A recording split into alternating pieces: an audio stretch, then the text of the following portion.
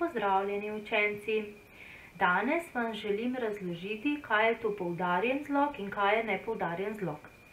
Poudarjen zlog je nek zlog, del imena recimo, ki je poudarjen. Nepoudarjen zlog pa je del imena oziroma zlog, ki ni poudarjen.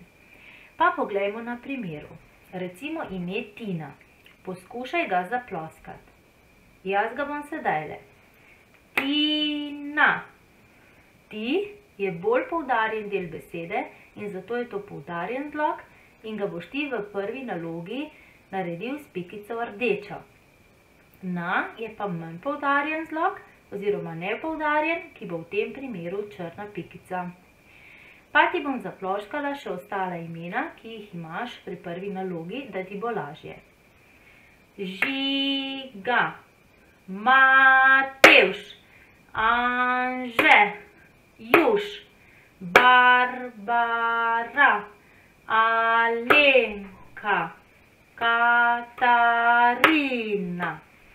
Sedaj pa veselo na delo in reši naloge.